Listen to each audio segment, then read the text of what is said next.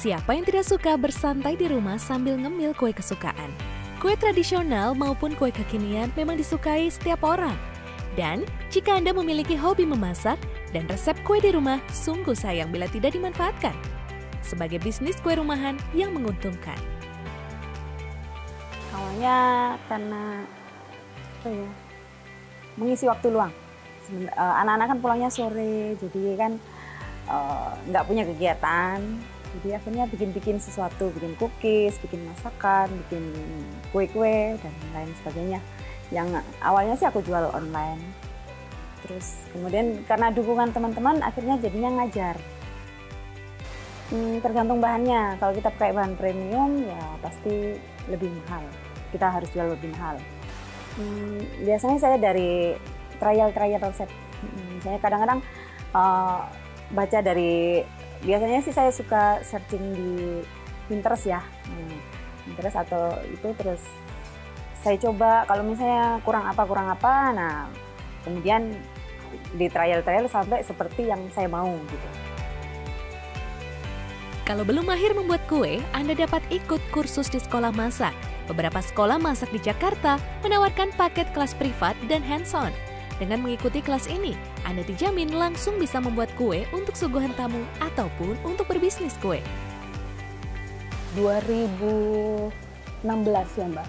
2016 dan 2016 it- 2014 saya kenal Mbak Ci, tahu Mbak Ci, terus eh, mulai kursus di sini.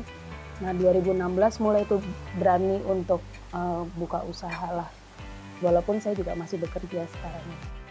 Saat ini masih memang saya hanya karena memang eh, saya bekerja, jadi saya lebih prioritasnya memang di saat pas musimannya pas lebaran aja mbak. Atau ada tergantung ya as per request lah sebenarnya sih. Karena kan saya kerja jadi saya juga nggak berani yang terlalu promo memang belum promo besar besaran sih mbak. Tapi ya buat persiapan pensiun juga sih Eh, ya, saya mengikuti kelas cookies hari ini karena saya ingin menambah eh, ilmu tentang materi eh, cookies karena selama ini tahunya kan yang klasik-klasik kayak kastengel, nastar. Nah, hari ini saya tahu di kelas Mbak Murni ada sesuatu yang baru lah. Eh, pertama belajar, belajar itu harus. Eh, kalau alatnya kita harus mulai dari yang kita punya aja dulu, nggak harus langsung beli misalnya oven deck. Kalau misalnya kita punyanya oven gas ya kita dari oven gas itu. Nah itu diberdayakan karena saya awalnya seperti itu ya. Nah dari sambil sambil kita terima orderan, sambil kita nabung, nanti kan kita sambil beli alat yang lebih bagus, lebih bagus seperti itu.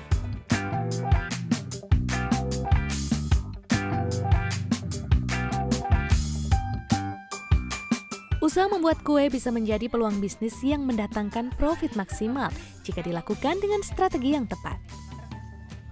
Belum coba untuk bisnis ya minimal karena di rumah anggotanya banyak ya buatlah daripada beli ya.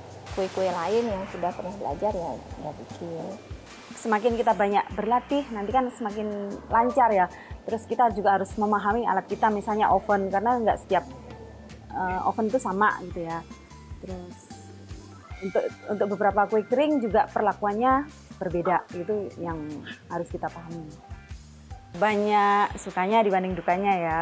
Kalau sukanya itu biasanya kalau customer kita suka terus banyak akhirnya otomatis banyak pesanan ya. Nah dukanya itu kalau misalnya ada asisten yang nggak balik ya. Misalnya pulang terus nggak balik nah kita berarti kan harus rekrut asisten baru nah itu harus kita ngajarin dari awal nah itu dukanya Tidak harus dijalankan dengan modal besar. Bisnis kue bisa mulai dijalankan dengan modal kecil sebagai usaha rumahan. Jika bisnis ini ditekuni dengan baik dan Anda mampu mengembangkan bisnis ini, usaha sampingan ini bahkan bisa menjadi usaha utama Anda. untungnya lumayan untuk kue kering ya harga jual sama modalnya. Ya apa ya? Pertama tergantung bahan terus kedua kan eh, harus diperhitungkan juga misalnya hmm, biaya-biayanya. Terus mungkin terus prosentase keuntungan yang mau kita ambil nah nanti kita baru ke harga jual. Yang pasti ini buat nambah varian bakulan saya. Kebetulan saya juga eh, terima eh, pesanan cookies yang selama ini kan saya cuman bikinnya yang standar-standar aja. Nah, cookiesnya Mbak Murni hari ini uh, buat saya itu hal baru. Jadi ya insya Allah bisa nambahin bakulan saya untuk yang lebaran tahun ini. Usaha kuliner termasuk bisnis kue akan tetap bertahan sepanjang masa.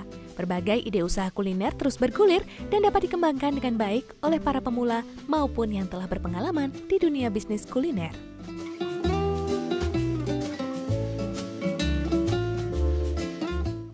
Uh, kalau empal gentong itu sepertinya sama aja dengan soto di Nusantara mana aja, di Pulau Jawa mana aja, ya di uh, kota Pulau Jawa mana aja. Itu sebenarnya masuk soto